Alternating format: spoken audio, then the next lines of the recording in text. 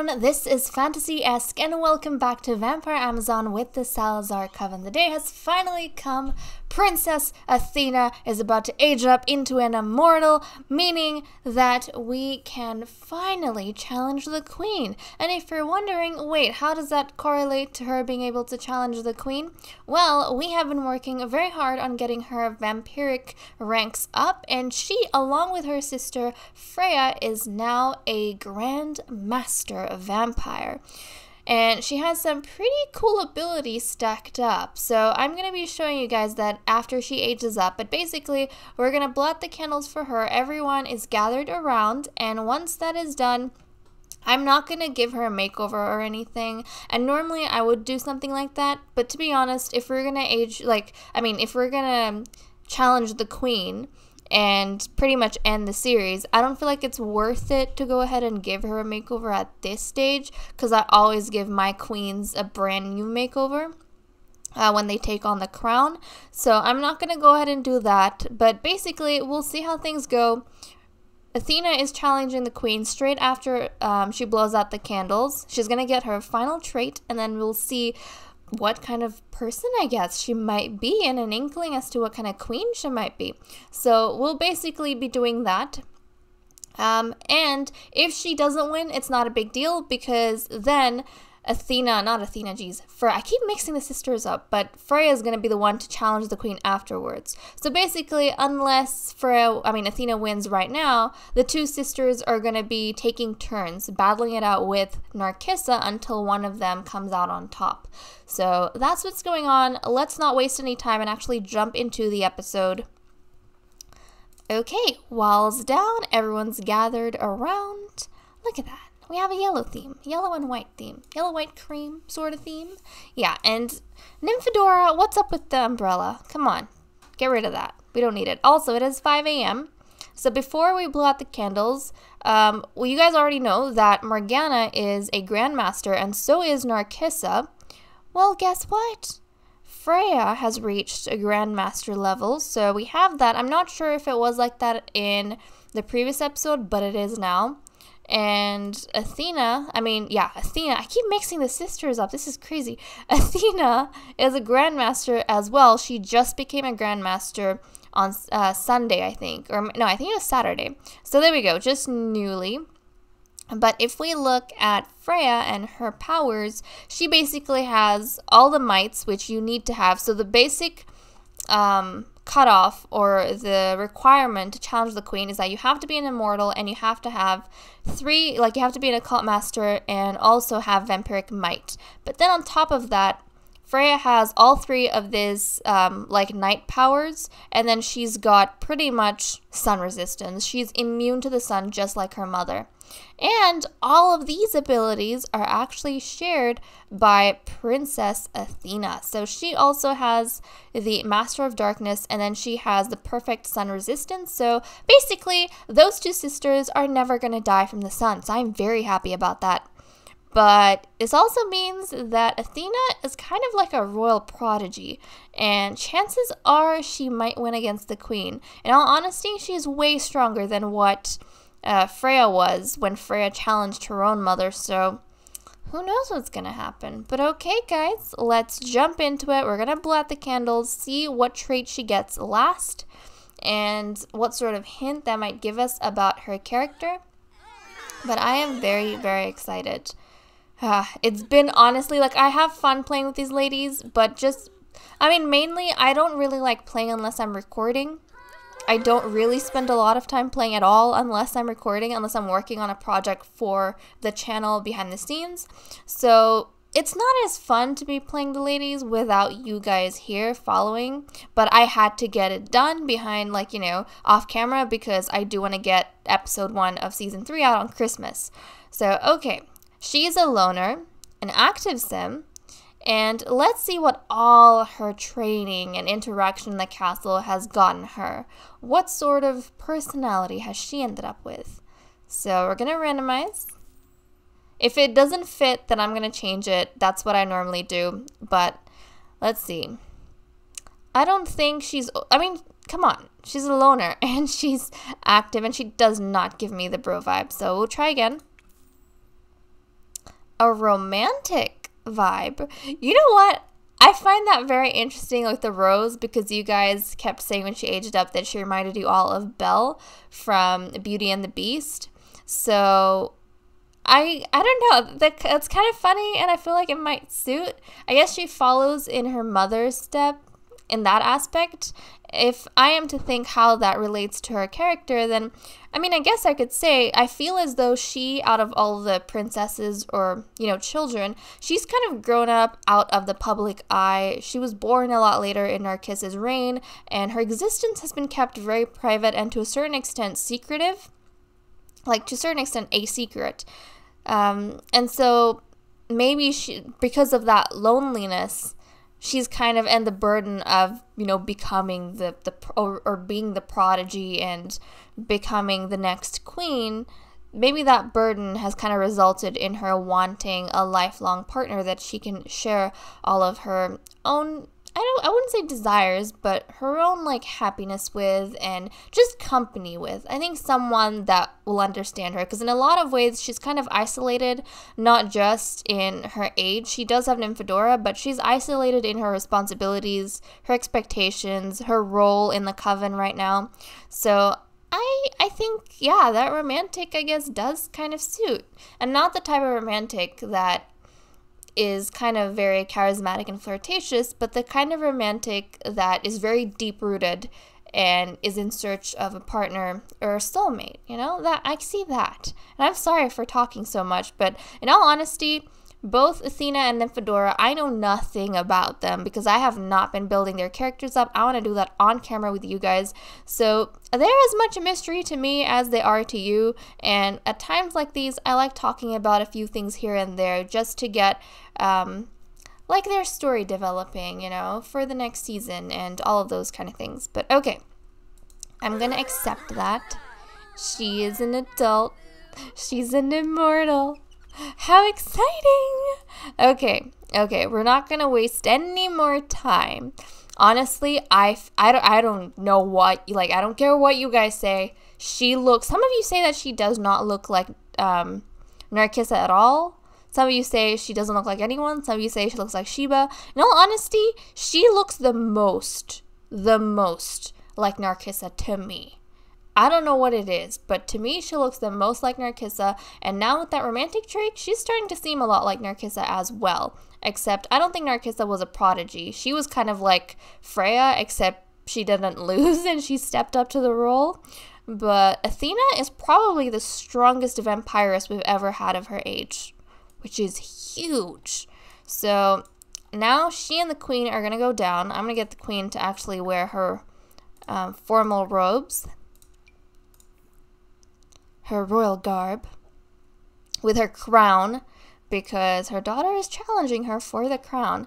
And both, let's get rid of this. Hold on a second. We have a club gathering going. Holy cow, we built up a lot of points. But okay, I'm gonna get both. And yes, I have juiced them all up with some potions, so they all have like super good needs. But let's see, I'm gonna get Narcissa and Athena to be in one group, and then they are to go down to here. They're to go there together, and then we're to have Athena challenge her mother. And Frey is not going to be brought down and just yet. She's not going to be brought down just yet. We want to follow Athena and see if they win. If she doesn't, then it's up to her sister. And it's practically going to go back and forth until a victor comes out. But at this stage, with both the queen's daughters grown and able to, like, eligible to challenge her, it's the end of her reign. There's no more waiting around to see who's going to be born next or who's going to be able to challenge her next. I mean, if Athena wasn't born, then Freya probably would have been able to challenge the queen again and again until she basically came out on top. But that's not the case, is it? That is not the case. And a lot of you lovelies are saying that you don't know anymore whether you want Athena to win or you want Freya to be queen.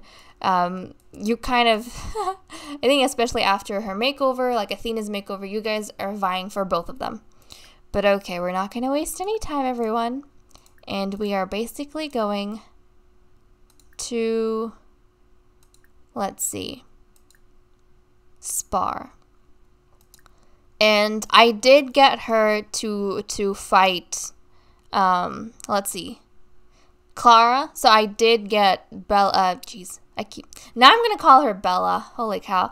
I did get Athena to spar with Clara and she did come out on top so she can go ahead. Normally, actually, I don't think there's a rule saying they have to wait until they're immortals before they fight the warrior. So she did fight and she came out on top, so I feel like it's fair to go ahead and as soon as she's aged up to challenge the queen. But here we go, guys.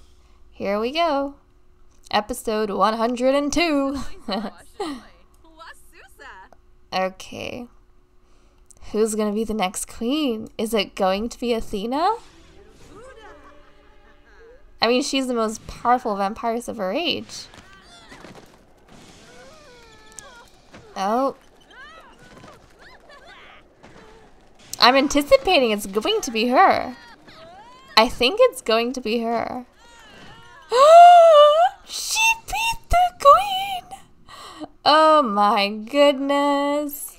She has beat her own mother. She has risen to the top. And with that, guys, Narcissa is gonna have to put down the crown and hand it over to her daughter Athena, our Generation 3 queen. That means I can actually end right over here, but I'm not going to make the episode that short. I'm not gonna put you guys through that. Okay, I'm not gonna play all the ladies a whole heap, but I do want to talk about a few things.